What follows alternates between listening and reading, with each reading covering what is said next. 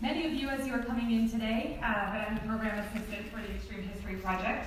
Uh, and it gives me great pleasure to be able to do the introduction uh, today, since Crystal will be our, our speaker. Um, but before I do that, I want to tell you about a really exciting event that is coming up in just a few weeks here, uh, October 18th. We will be once again uh, hosting our History After Dark uh, event in downtown Bozeman. Uh, so this is your chance to um, uh, walk through the streets of Bozeman and meet some of the historic characters who will be uh, presenting in first person, dressed up in costume uh, as, as the sun sets uh, in Bozeman. So please come out and, and see us for that. Our tickets are on sale now, and you can find that through our Facebook page and um, through Eventbrite.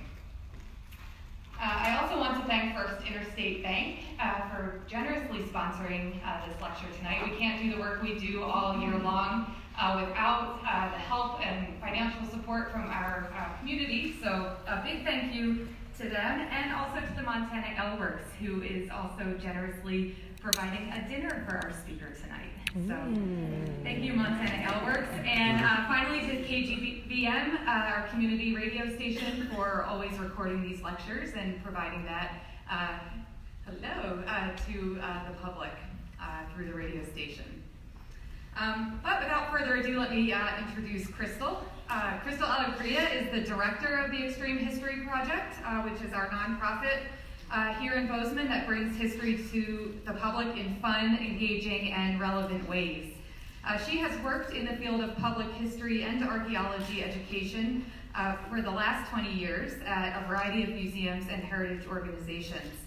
And she co-founded the Extreme History Project in 2012 uh, with a colleague, Marsha Fulton, and has helped build this organization into an award-winning nonprofit that engages the public in history uh, through walking tours, a lecture series, uh, workshops, oral history, preservation projects, and other unique historical programming. So Crystal serves on Bozeman's Historic Preservation Advisory Board and has also written many articles and blogs on the history of Bozeman. Uh, she has a BS in anthropology and an MA in history uh, from Montana State University, and uh, Crystal is local. She grew up uh, in Livingston, Montana, and although she will always uh, have a love for the Paradise Valley, she now calls Bozeman home. And she lives here with her husband Larry, who's in the audience today, and uh, their two teenage children, Emily and Lawson. Uh, so without further ado, I will turn the podium over to Crystal.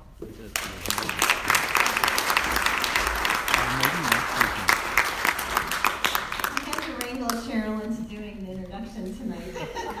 but it's in, pre- in, preparation because she's going to do, be doing the presentation next month. So. In November. In November, two months from now. November actually. So that's, that's great. yeah, kind of scared Well, I wanted to say another thank you to First Interstate Bank and especially to Mary Ketterer for um, the sponsorship tonight. Uh, we, like Cheryl said, we can't do these lectures without our community sponsors, so we're so happy to have those, and AleWorks as well.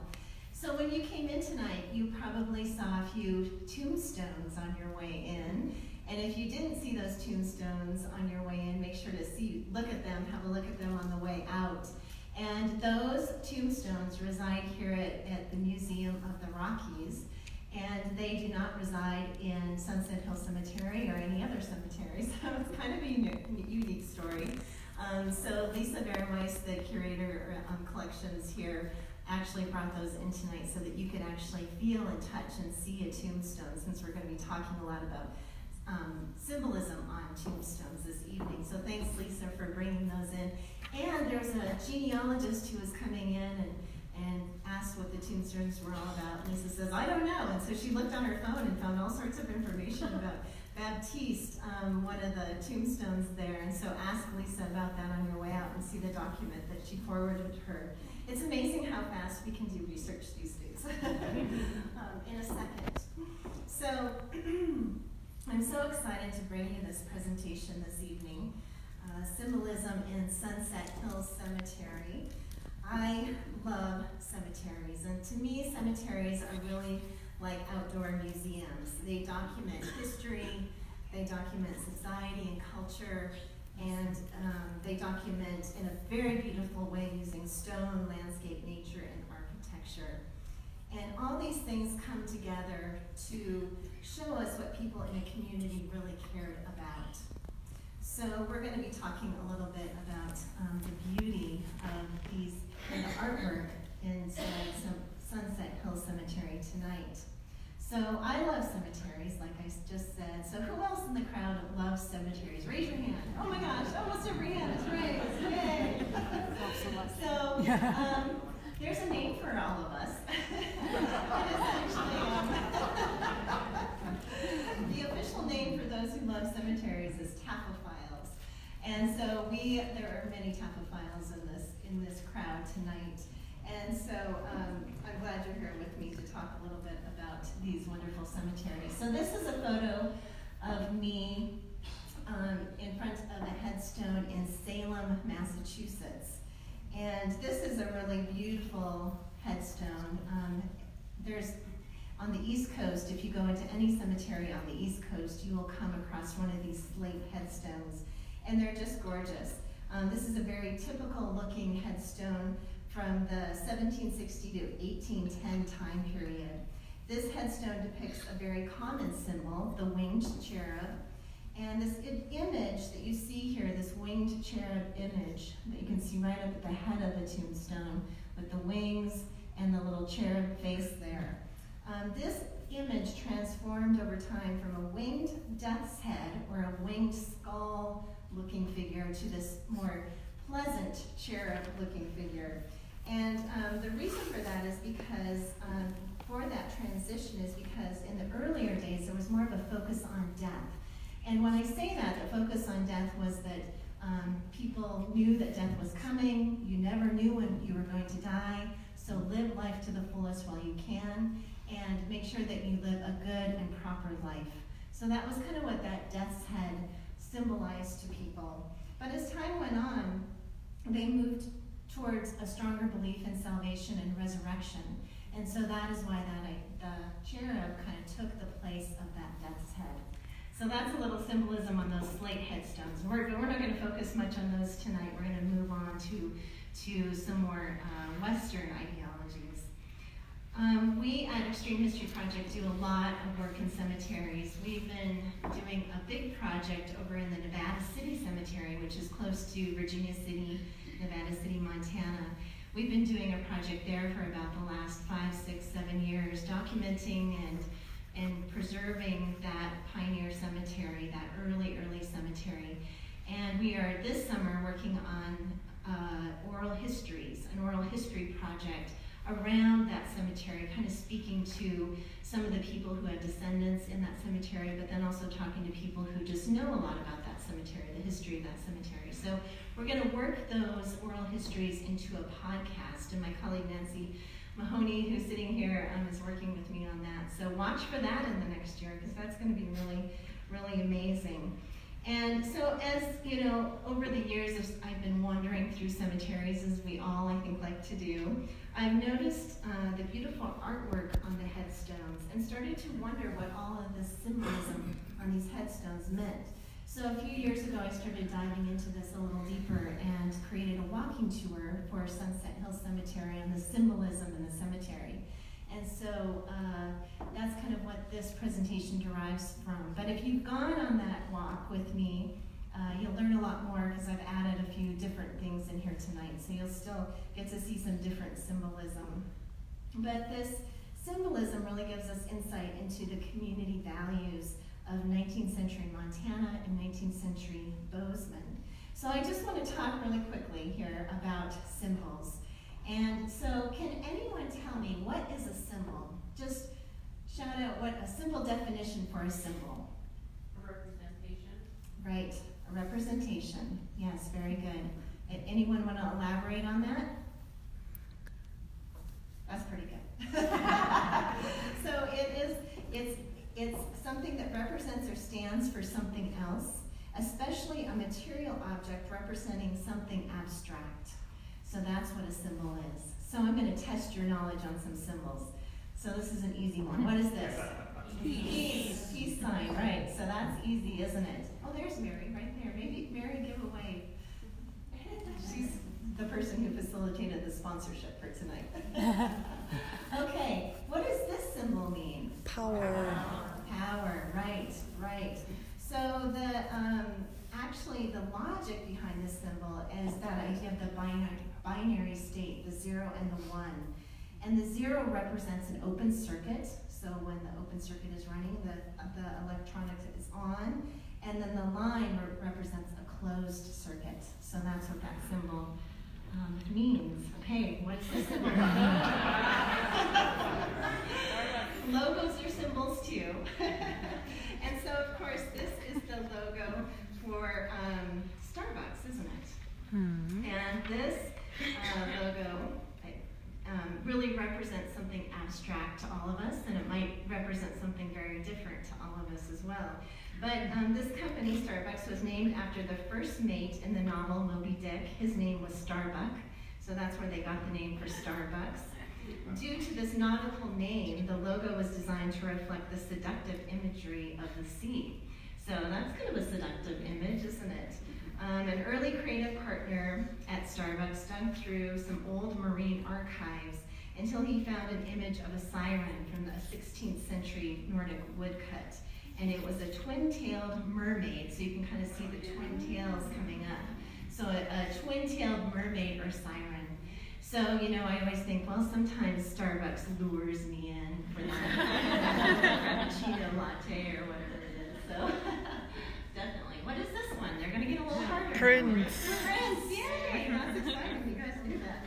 Um, so this is this is Prince, the sign for Prince. So in 1993, the artist Prince, the singer Prince, announced that he would no longer go by the name Prince, but instead wanted to go by this sign or this symbol. He was having a little dispute with his record label, and I think that's what it maybe stemmed from. But he said that this symbol represented love. And so you can kind of see that it has the two gender symbols, male and female, kind of mashed up in there. And so this, um, to him, represents love. And, um, and he also said, quote, it's all about thinking in new ways, tuning into a new frequency. So a little, little sentence from Prince there. But in 2000, after his contract with Warner Brothers, his record label, was done, he went back to using his name Prince, which was kind of a relief, I have to say. so, okay, now, one more here. What is that one? The Deathly Hallows. There we go.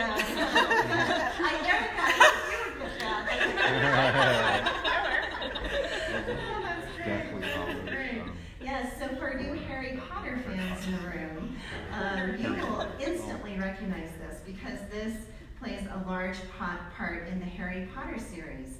So this symbol is comprised of the Elder Wand, which is the, the line in the middle, the Resurrection Stone, which is the circle, and the Cloak of Invisibility, which is the triangle aspect of this, of this symbol. So whoever, it is said in the books, whoever possesses all three of these is said to be the master of death.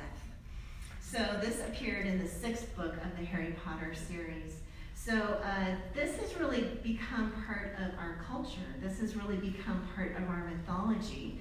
And this symbol is added to our mythology. And as I've been putting together this talk, I've been really looking for these symbols, these popular cultural culture symbols, and I've seen this image tattooed on numerous people. so they're kind of of a younger generation, but they have these this symbol tattooed. I saw it on a a back of a calf, and then I saw it on an arm. So it's really interesting how um, younger um, generations are taking this in. But you know, it makes sense because I think my daughter has read the entire series, which I think comes eight books, seven books, eight books. Um, she's read it three times through, so it's being ingrained. So it is definitely part of our culture, which is so interesting. Just like the Lord of the Rings with Tolkien was um, for a few, uh, for a previous generation. Okay, so symbols change over time, don't they? And um, so, um, example, until 2007, we used this symbol to represent the number sign or the pound sign. No longer. In 2007, Chris Messina, a gentleman named Chris Messina, proposed using this symbol to associate or group messages on social media, especially on Twitter. The hashtag, as it is now known, is a type of metadata tag that allows us to find messages easily on social media. So this hashtag that we now use, we can put that before a word and then we can easily find that theme or that idea or those words within other social media messages. So it's really transformed. We still use this as the number sign or the pound sign, but now it's also known as the hashtag. And so this I thought was interesting. This is the original tweet um, from Chris Messina, and he said, how do you feel about using the pound sign for groups, as in hashtag barcamp? And that started it all, so I thought that was pretty interesting. Okay, so now we've talked a little bit about symbols. So you, we have, we've had, we've kind of um, um, set you in, into the symbol mode so that we can start looking at cemetery symbolism. So here's, um, I just, and I also wanted to just set you kind of in the context of the cemetery that we're going to be working in, and kind of the, the time frame that we're going to be um, looking at as well. So we're going to dive into Sunset Hill Cemetery, which used to be called the Bozeman Cemetery. It wasn't called Sunset Hills until probably the 1920s or so. And we're going to be looking at the old section of the cemetery. So this can really tell us about um, what people were thinking in the mid 1860s to 1900s. So that's kind of our time frame we're going to be looking at, mid 1860s to early 1900s. Symbolism in the cemetery can give us a lot of clues about that, that community values, those co community values that I talked about before. So I want to give you a little bit of a history quiz here. So when was Bozeman founded? Anyone know the year? 1864. Oh, I heard it over here. Someone said 1864. Oh, my dad did. He's been listening. right, so Bozeman was founded, founded in 1864. So kind of think about what was happening in our country in 1864. And so why do you think people were coming here to settle in Bozeman in 1864? Gold, I heard gold out there. Yeah, you're exactly right. So people were rushing to, to Montana to um, mine gold in Bannack, in Helena, in Virginia City. They were coming out here to go to those places to strike it rich, and not many of them did, but they tried. And so um, Bozeman was actually founded to supply those places with agricultural goods and other supplies that those miners needed on their way. So Bozeman wasn't a mining town, but instead it was an agricultural town. So if you're thinking about all those people who were coming here, there was a lot of non-native people coming here. Of course, native people had been here for thousands of years before this, but at this time there was a lot of non-native people coming here from all over the world, coming here from um, Sweden, from Germany, they were coming from the east coast of the United States, they were coming from Ohio, they were coming from New York. They were all coming here to Bozeman, and most of these people who were coming here had a, a Christian background. And so that's what we're going to be looking at with these symbols today. Many of these symbols we're going to see go back farther in time than Christianity. But because the people who are coming here and settling here practiced Christianity, that is how they were using the symbols. So I'm going to kind of focus on that. I might go back in time um, with a few of these symbols, but I'll probably stick to pretty close to that Christian ideology. Okay, and this is a picture of Sunset Hill Cemetery, um, the, the grave of Mary Blackmore from 1901. And this is one of the only photos I have that I've, i found of the cemetery from the late 1800s, early 1900s. But it shows a little different view of the cemetery than we see today, doesn't it? With the tall grass and the little white picket fences around the headstones. And that was because of course, there was a lot of cows grazing up there at this time, and they tried to keep the cows from pushing over the, the headstones by putting these little fences around them. Okay, here is our first symbol, the weeping willow. Appropriate, appropriately named the weeping willow because uh, when you look at that image, you just feel sorrow, don't you? You just feel sorrow and grief, and you can really um, feel that, that tree just kind of bending down and its leaves almost touching the ground. So definitely uh, the weeping willow represents sorrow and grief, but it also represents immortality. And that really comes back to that idea of the tree of life.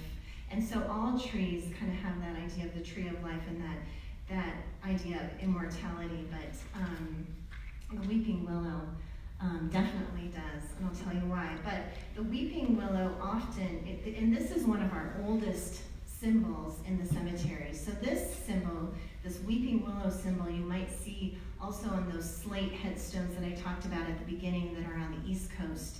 You see a lot of um, weeping willows with urns in, in association with urns. And so this is one of the symbols that really traveled west with the people who were coming here. Not a lot of symbols did. The death's head and the cherub, the winged cherub definitely did not, but this weeping willow did. And so it is um, a very popular decoration um, here in Sunset Hill Cemetery. You'll see it quite a bit. It's also sometimes associated with lambs and crosses here in the West. The weeping willow was a native of Asia. The tree is a native of Asia.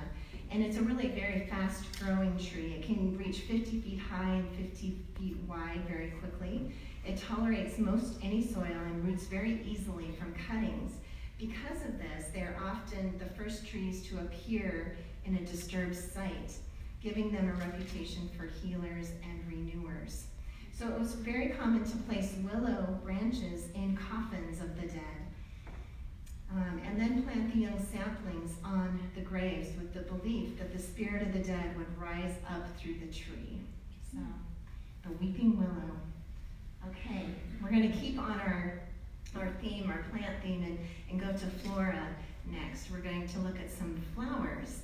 And of course, flowers are represented in the cemetery um, quite frequently. And then we have some wheat also. So I'm going to start right here with this wheat. And you can see this headstone, this beautiful headstone a stalk of wheat up there at the, the top. And wheat, uh, there is a lot of wheat in Sunset Hills. That is because we are an agricultural community, and wheat is very was very important and still is very important to this community. So we, we see a lot of wheat in our cemetery. Uh, if you go to a cemetery in Wisconsin or Iowa, you see a lot of corn represented because, of course, corn is very important to those communities.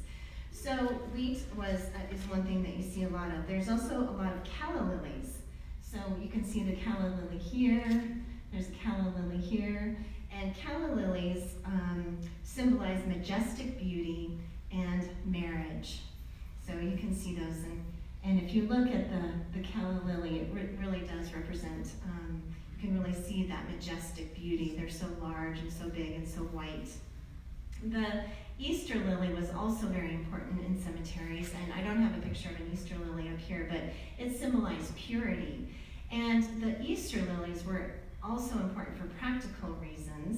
Lilies were often used at funerals in physical form, um, actually having lilies, um, Easter lilies at the funeral because of the strong scent um, that they have, which can overpower other strong scents that often occurred at funerals in the 1800s. So um, unfortunately, we did not have embalming until about the 18, kind of mid 1880s here. So before that, um, if the corpse started to um, decompose, it was important to have very strong scented flowers at the funeral um, so that so that you could um, mask those odors.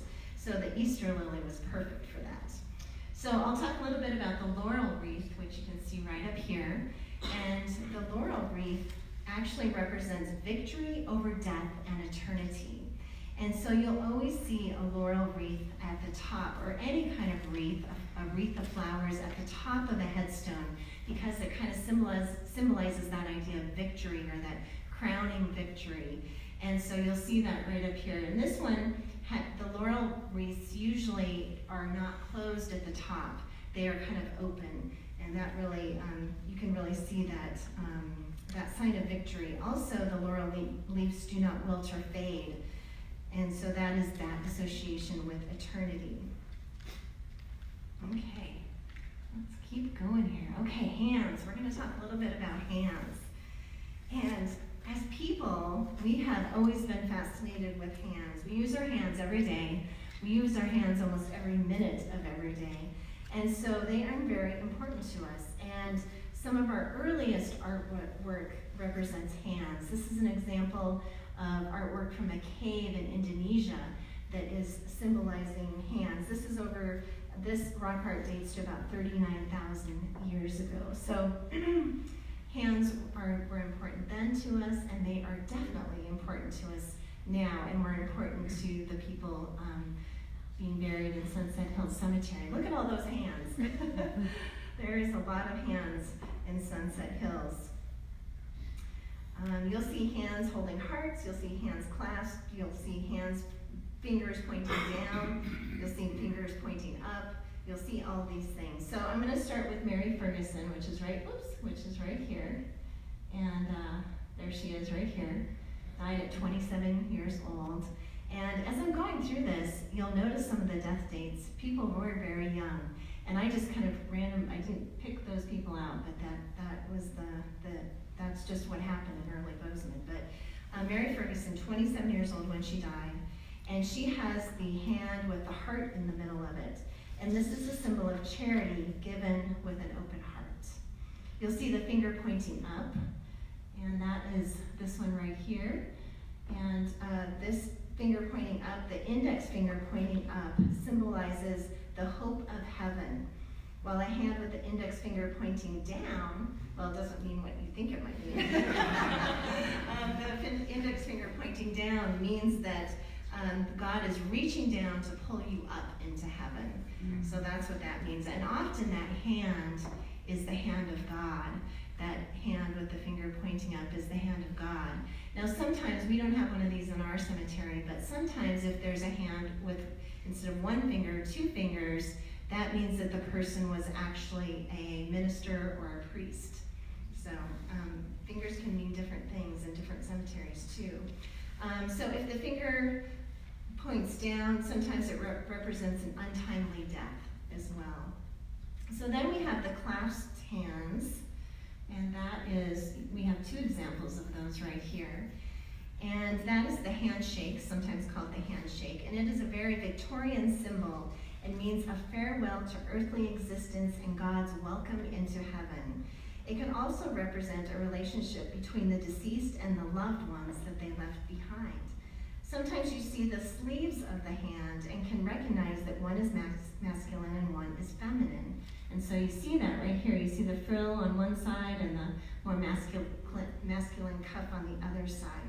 So this re represents holy matrimony or the eternal, unity of a husband and a wife. Sometimes the hand on top or the arm position slightly higher than the other hand indicates that the person that that person passed away first and is now guiding their loved one into the next life. So, so all sorts of um, interesting symbolism. And then this one, you'll see there's a finger po pointing down. And so Jake Oakwood was one of our early sheriffs.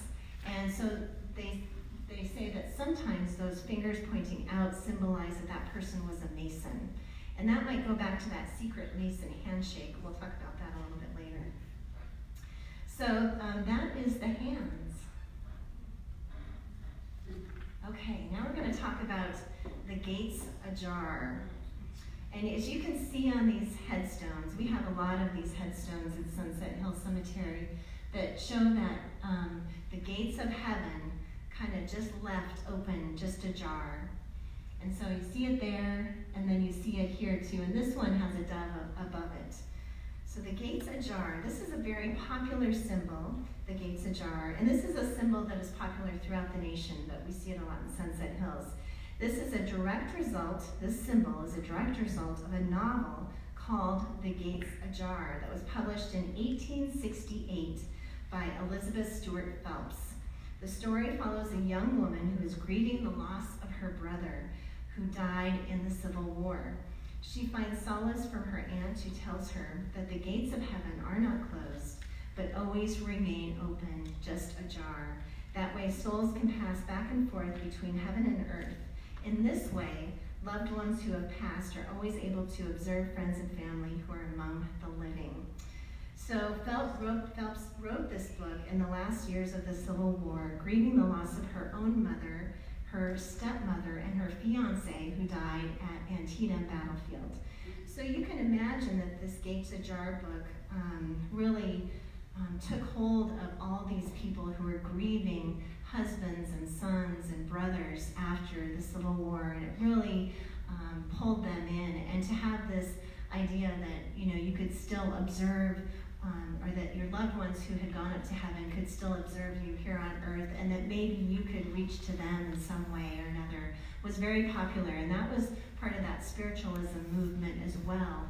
That people were starting to go to seances to see if they could connect with their loved one who was beyond the veil. And so this is really part of that whole idea of being able to talk just one last time to your loved one who died in the Civil War. And so this um, took our country by storm, and everyone really bought into this Gates Ajar ideology. And then even in England and parts of Europe, this was very popular. And so um, I'll just move to the next slide here. So not only were there tombstones with the symbolism on them, but also flower arrangements. There were many songs composed about the gates ajar, and then even in Anaconda, um, someone on their in their window display during Easter had uh, displayed Easter hats in the form of the gates ajar. So, so it was everywhere. Um, so the gates ajar, kind of interesting. Okay, so now I'm excited to talk about tree stones because I love tree stones. we have five of them in Sunset Hill Cemetery, and not one of them is the same. They are all very different. And they all kind of have the same look to them. Of course, they all are an oak tree, an oak stump, and sometimes the oak stump is taller than other times. Um, all of our oak stumps in Sunset Hill Cemetery are about the same size, and this is pretty large. It's about six feet tall, I would say. So these are large um, monuments in our cemetery, and when you come upon them, they are very monumental.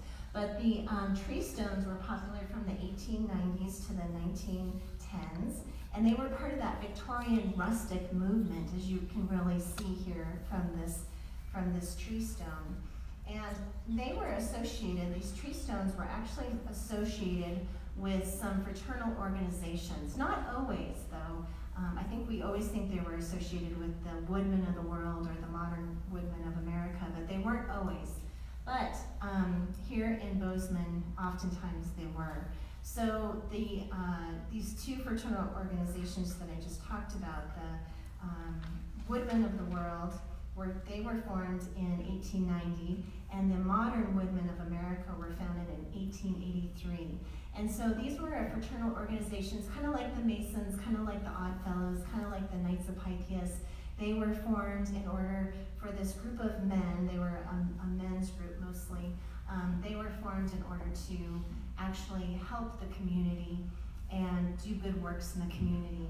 And so we had, um, we had three groups here um, in Bozeman in the 1900, um, actually it was the 1902 city directory. We had the Women of Woodcraft, which was kind of another group, a woman's auxiliary group. And the Jewels Circle number 131 was here in Bozeman. We had the Woodmen of the World, Bridger Camp number 62, and Modern Woodmen of America, Gallatin Camp number 5245. So those are the three that we had here in Bozeman. And you can see on here that this, this um, person um, had the Modern Woodmen of America acronym on headstone as well as the axe. All these wood, woodmen, um, what they would do for their ritual is they would um, march together with axes down the street, which is kind of interesting. And um, they would do drills with axes. And it was kind of harkening back to that idea of the um, days when the um, pioneers were setting out across America to clear the land for civilization. And so that was their, their kind of the, the thought process that they had with these axes. So it's a really interesting group. If you want to learn more, there's so much more to know about the, the woodmen of the world as well. I'm just touching on some of these things here, but if you want to know more, there's a lot out there. We don't currently have any uh, the Woodmen of the World organization is still thriving. They also had a death benefit um, insurance. And so you could be a member of the Woodmen of the World, and then your, in the early days, your whole funeral was paid for. Um, that got kind of expensive for the organization. so then they actually just started giving you $100 for your funeral. So that was a really good deal. And so that was a perk of the membership. So the um, Woodmen of the World is still in existence, but more as an insurance agency nowadays. And we don't have any of these lodges or these circles left or these camps left here in Bozeman today. So I want to talk a little bit about, I'm going to move to the next one. So these are just three of the, with the tree stones that we have here in Sunset Hills. And um, you'll see that they kind of all have this scroll um, giving the information about the, the um, person who passed away. This one I, write, I like right here. His name was Royal Haxton. What a name, huh? Um, and uh, only died at age 34 years old. But um, you'll see that there's a stag at the top of this headstone. There's also um, some of the same symbolism, a, a fern here, a fern here. This one has a calla lily. So, like I said, they're all kind of different. Now I'm going to go to the next um, slide. And we're going to look at a little bit more detail of that middle stone. So you'll see that um, on some of these stones there was a an owl. So you see the owl here? It's kind of peeking out at you from the stone. And the owl symbolized wisdom, solitude, and watchfulness. They remind the faithful that Christ can guide our souls even through the darkest of times. So that's what the owl symbolized. There was also the symbolism of the ivy. So on a lot of these stones, they have ivy kind of clinging, wrapping their way up, up the tree stone. And so the ivy is an evergreen plant, which speaks to immortality again, and also that idea of life after death. Ivy clings to support, um, to a support, which makes it a symbol of attachment, friendship, and undying affection. Its three-pointed leaves also hearken to the symbol of the Trinity. Of course, these are all oak trees that they um, are on. This is an oak tree. These are carved out, carved out of limestone, by the way. Um, and the oak tree was the king of trees. It symbolized strength, endurance, eternity, honor, and virtue. So that is what the oak tree symbolized, as well as the oak leaves. And then the fern down below here, you can see those fern leaves. The fern symbolized humility, frankness, and sincerity because ferns are found deep in the forest and found only by those who have honestly searched. So, um, and then you see the anchor as well. Now you'd think that the anchor would mean um, something nautical, something of the sea, but actually in this case, on headstones, it often means hope. It symbolizes hope. Hope for the hope to go to heaven, um, hope in different ways. And so, uh, so that is what that, um, that big anchor right there symbolizes. So um, we do this, this we, we do our walking tour with um, students sometimes in Sunset Hill Cemetery. One, one year I was doing this with a group of students and we were looking at, um, we were looking at Royal Haxton here and his, his headstone. And so I kind of went through and told them what all this meant. And the, a little voice said, oh, so he was a very humble man who um, was interested in um, and, and who had a lot of friends. And he just really put all that together to symbolize who this man was in life. And of course, that was really neat because that's what the that's what they were trying to get across is who these people were that had died. So that is the tree stones. Okay, now we're going to talk a little bit about the masons. And I could probably do an hour talk on the symbology of the Masons. Um, do you have any Masons in the room? Oh, good. I'm glad. Oh, no, we don't have one. Okay. I hope I get this right. um, so Mason- Masonic symbolism is abundant in Sunset Hill Cemetery. Like I said, I could do a whole hour just on, on this. But the Masons are the largest fraternal organization in the world. And Bozeman currently has two lodges and historically has always had two lodges. Lodges number six, which is located in the building that has the horse that spins around at the corner of Main and Bozeman, I think it is. Is that right? Main yeah. and Bozeman. And then lodge number 18 is at the corner of Main and Tracy, so just down the street uh, a little ways. And of course, you may have heard this before, but um, Bozeman was settled in 1864 when the war was raging, the Civil War was raging, and so there was still a little animosity between the Northerners and the Southerners here in Bozeman when they settled these lodges or when they organized these lodges, and so um, we had to have two lodges, one for the Northerners and one for the Southerners. and so the way that I remember this is that the, the lodge for the Southerners is on the north side of the street, and the lodge for the Northerners was on the south side of the street. So, um, so anyway, so we still had two very active lodges here in Bozeman, uh, Masonic lodges. So this symbol that you see up here, the compass in the square with the G in the middle, is a very common symbol, and you see this all over the cemetery. And um, Sunset Hill Cemetery has a whole Masonic section, but there are Masons buried throughout the entire cemetery and have this symbol and other symbols on it on the headstones as well. And so this um, um, this symbol, the square and the com compass, um, they symbolize morality and virtue, respectively. So, uh, and just to give you a little bit of a, um, um, some, a little bit of information on what the Masons do, they, their goal is to take good men and make them better through fortitude, justice, prudence, and integrity. So um, this last weekend, I had the opportunity to go to Virginia City, and I met a Mason who was a, a Mason here in Bozeman for many years. His name was Bill Bennett.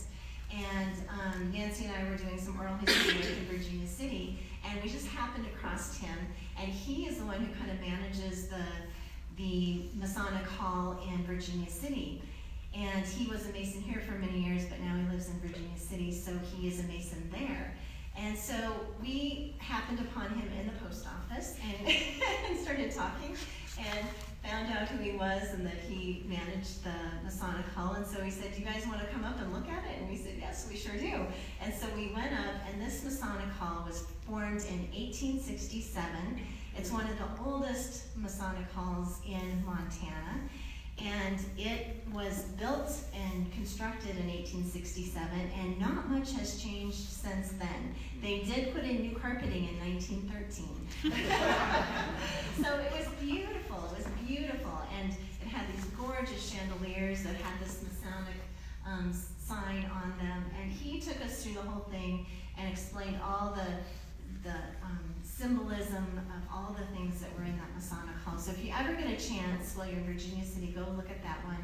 But I know that um, the Masonic Hall here in Bozeman is open as well. The one on the corner of Tracy and Main, um, been invited into that one as well. So go, if you have a chance, go in and look because it's un, just be, they're beautiful, and then the um, the symbolism and the meaning behind everything is really so interesting.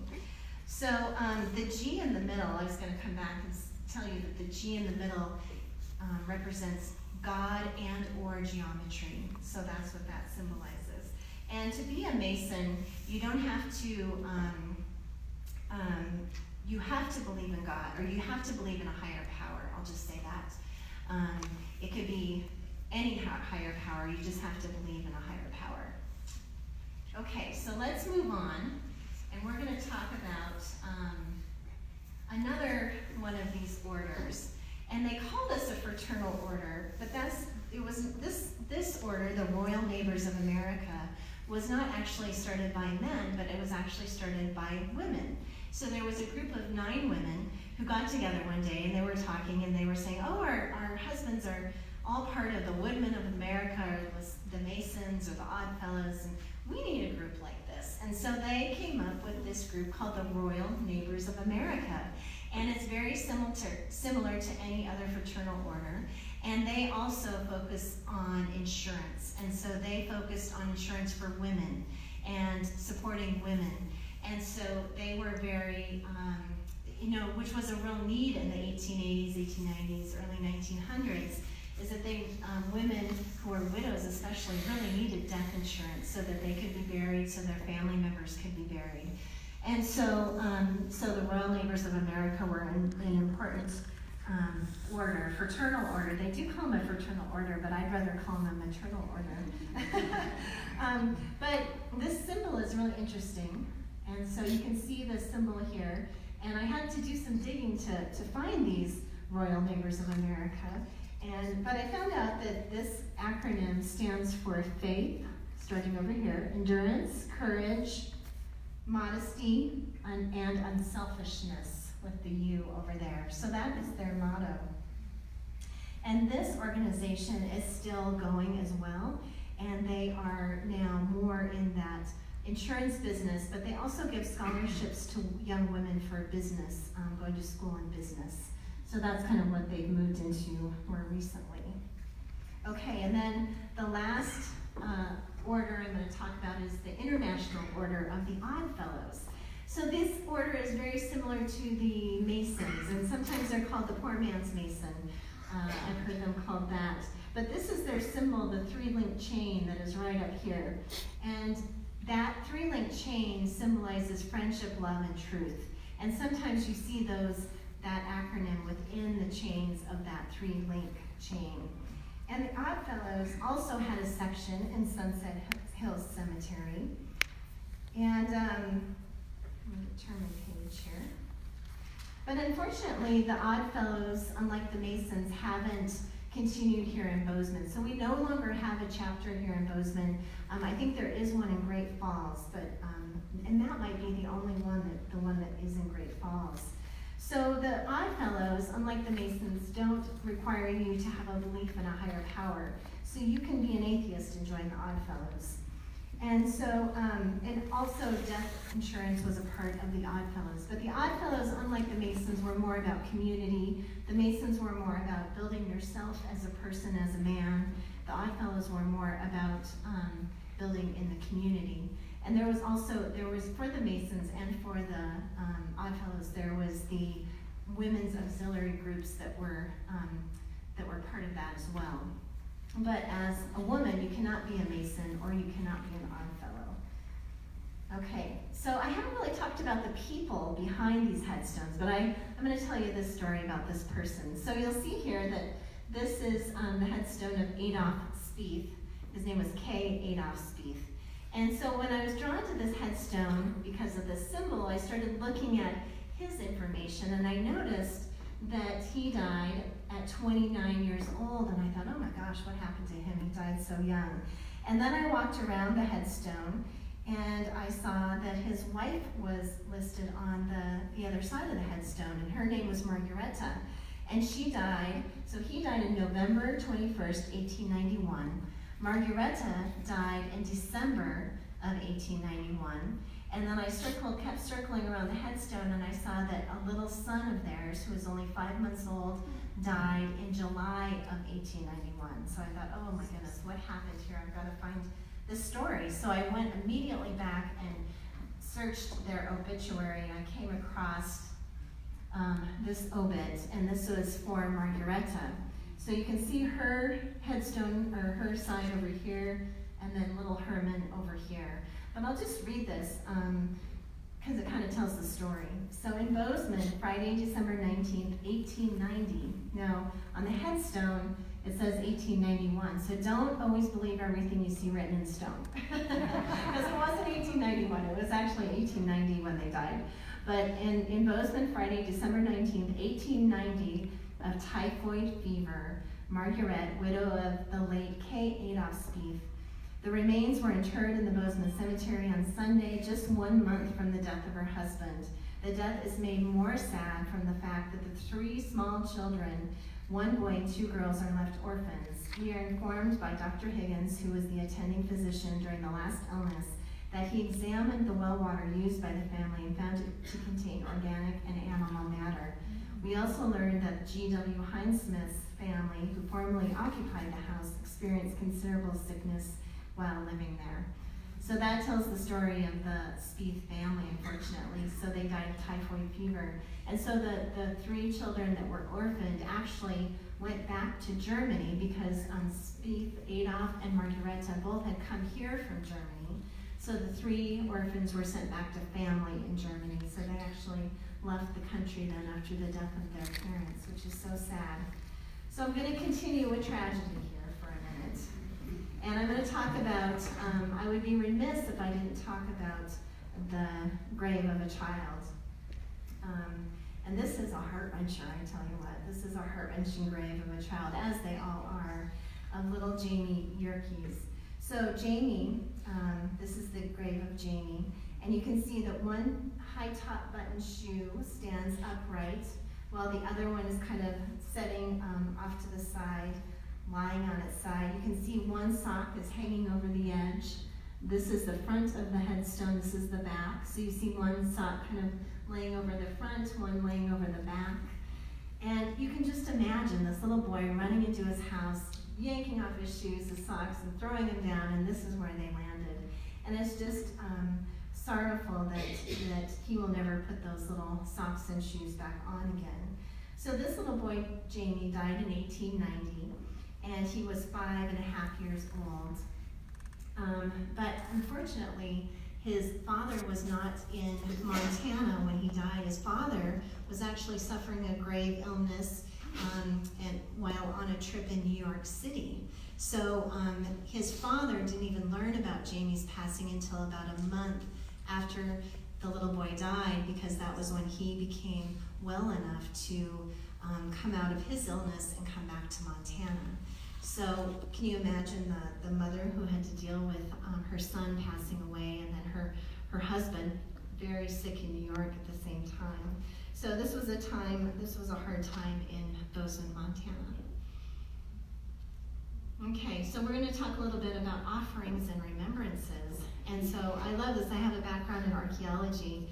And so these little artifacts that are left at graves are so fascinating to me. And there's a lot of them on modern graves. As you, if you go into a cemetery now, you see flowers and mobiles and little um, vases left and all sorts of little things left in cemeteries. But in the historic section of the cemetery, you don't always see a lot of, of grave offerings, but every once in a while you'll get lucky and you'll see something. And so, um, so these are just three things that I've seen over the last couple summers in Sunset Hill Cemetery. So here on this Quinn grave, you'll see a pineapple. a pineapple. So um, kind of kind of an interesting thing to see on a grave, but there it is. And so I don't know what the pineapple means, but I do know that symbolically the pineapple traditionally has always represented hospitality. So maybe the Quinn family was very hospitable, something something like that. I don't know, but there is a pineapple on the grave. Also, you see on um, this, this one over here on the right-hand side, the Nelson grave, you see that there are teaspoons left on the top of the grave. And so I've always wondered, was Mrs. Nelson a very good baker? and so did they leave those teaspoons for her on the grave because of that? I don't know. Um, but you, we can just conjecture about some of these things. This grave right here has little stones left on it, little stones and a stick. And stones are often left and have been left for eternity on, on graves. And goes back, um, indigenous people, both here in the Americas and in Europe, whenever someone was buried, when they were passing by the grave, they would leave a stone. And pretty soon there would be a large mound of stones um, forming a cairn, a cairn of stones at this grave. So we still see that today. I see this all the time on John Bozeman's grave. People will leave stones on that grave all the time. So, um, so a, a, little bit about the um, the remembrances as well. Okay. So this is um, taken from the City of Bozeman Sunset Hill Cemetery website. And this is an interactive map. If I was on the internet here, I could click on one of these little squares and it would pop up who the person is that is buried in that grave. Hmm. And so this is a, if you, if you don't know about this, this is a, a very interesting tool to use. And so I have, and it shows the entire cemetery. I have just honed in on the historic section here. But um, this is a great tool for, for historians and genealogists and, and um, anyone who's interested in the cemetery. Okay. Let me get back to where I am. Okay. So as we come to the end of the presentation, we've looked at symbolism presented throughout, and we see that in the late 19th century Bozeman, there was an emphasis on coming together as a community joining together to build this town.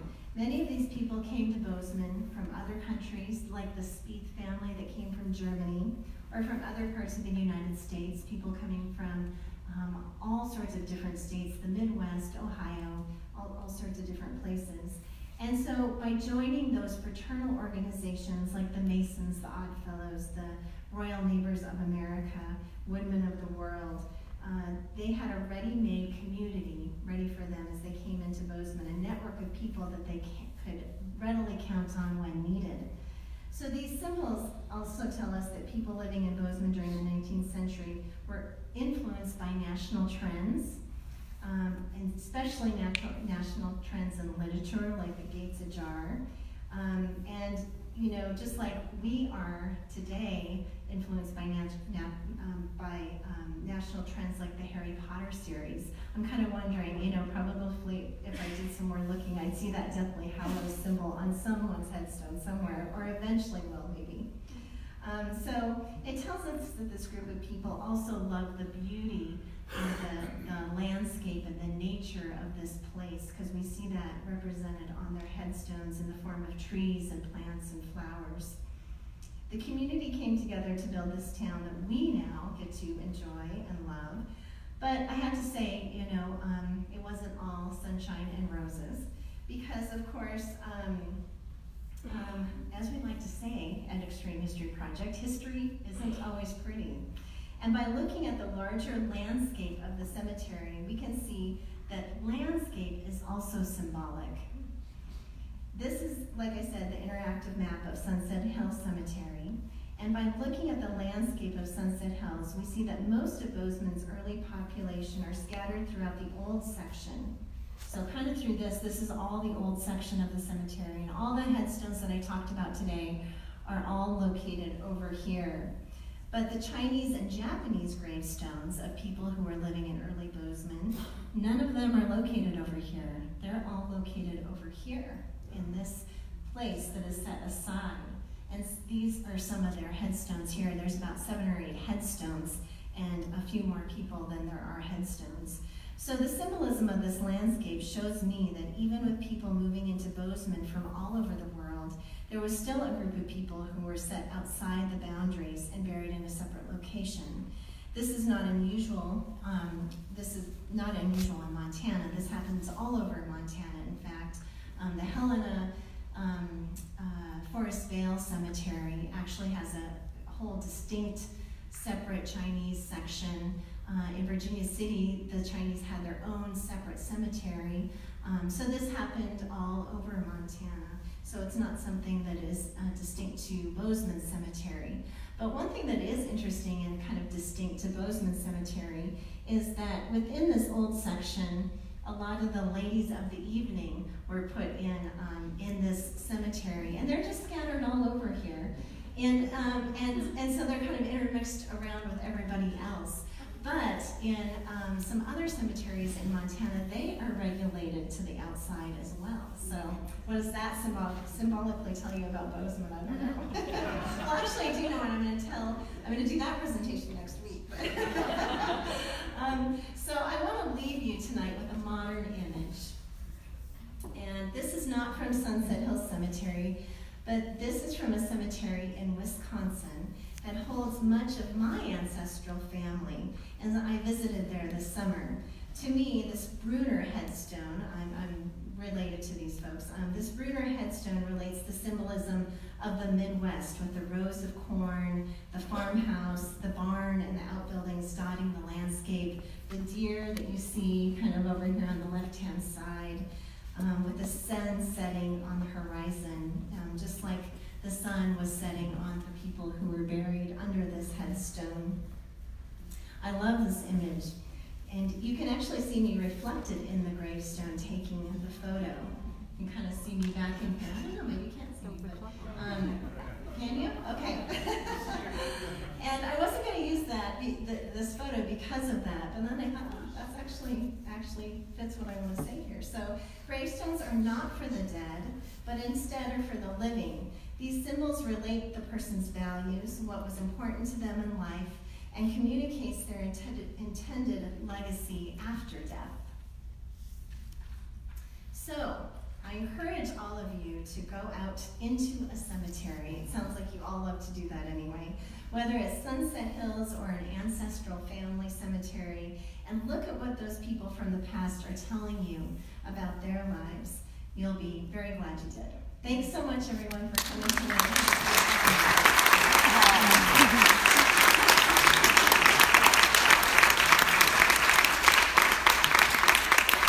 And I'd be happy to take just a few questions if anyone has a question. Up at the top, Chris. Um, the images that you had of hands, Yes. so you had shaking hands. I seem to recall that a lot of them were left hand shaking, and I think also the raised hands were right hand shaking. Was that part of this uh, symbolism, or are there, are there left hand um, raised, or? That's a, that's a really good question. I never came across anything in that, re- in, in the research that I did, but there is a lot of um, symbolism of right hands and left hands, and what you use your right hand for and what you use your left hand for. Um, so, so that's a really good question. I don't really know too much more than that, unfortunately. I'll look into it. Good question. Anyone else? Yes, easy. Okay. Um, so I've done the tour, uh, and, uh, one, one question I have is there are a lot of symbols on graves for men that have fought in the Civil War, and they all seem to be northern. Uh, have you found any that are southern? Or is it a shame, or, you know, can you speak to that little Yeah, story? yeah, I can speak to that a little bit. So, um, here in Sunset Hill Cemetery, we do have um, more northern um, people repre- representing that symbolism on their cemetery, on their headstones. And so maybe there was a little bit of that, um, trying to forget that part of their past or trying to forget. We also had more northerners that lived here in Bozeman. Um, but there are, um, there is, and I've looked for these in Sunset Hill and I haven't found them, but um, you'll notice that some of the headstones, the military headstones, have that rounded shape on the top. And they say that that was for the Northerners, kind of the rounded shape for the Civil War monuments. And then the Confederates had kind of a triangle shape on the top, and that's one way you can kind of tell them apart. And so, as far as I have found, there are no none of the kind of the kind of um, shaped that that sort of shaped um, headstone on the top in Sunset Hill Cemetery. But you know, there very well could be. Yeah. And so, um, if you notice the headstone in the back, one of that headstone is from an Indian scout who who was um, in the Indian Wars, probably here in Montana, and he has kind of that rounded shape that I'm talking about. And I also want you to notice that headstone when you see them in the in the cemetery, they're they're only about that tall. So that headstone shows how much is really beneath the earth uh, um, in, in those headstones. So that was kind of interesting to me as well. So yeah, and I didn't even touch on the military symbolism in headstones. That could be another hour.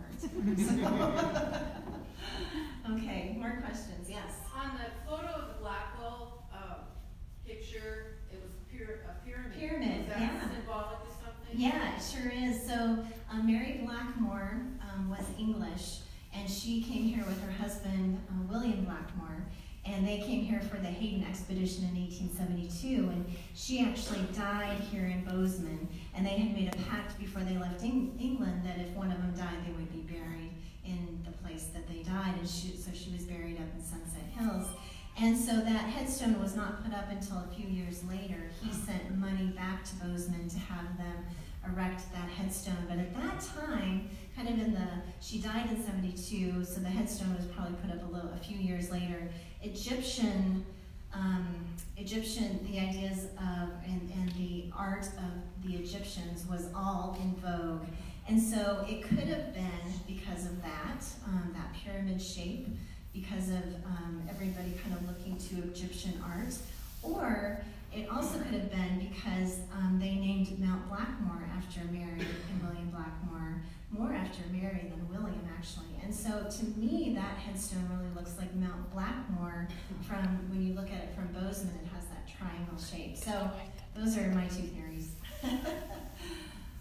yes. What is your talk next week?